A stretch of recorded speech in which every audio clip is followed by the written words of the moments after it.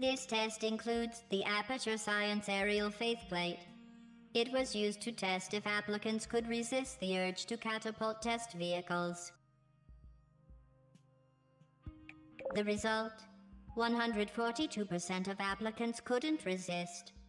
The additional 42% is from resourceful applicants who catapulted other testing apparatus in addition to the vehicle.